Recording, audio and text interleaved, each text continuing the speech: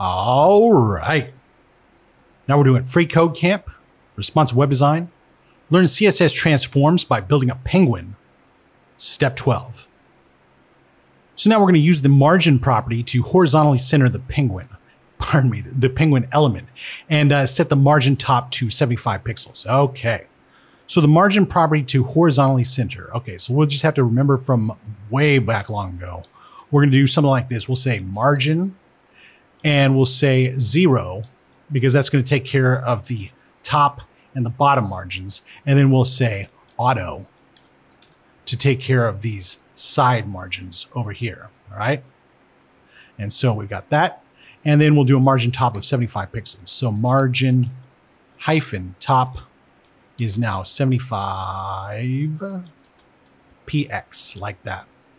All right. So now the uh, the golden ratio uh, switched up. So now the it looks like the six the 40s down here and the 60s up here. Whatever, no big deal.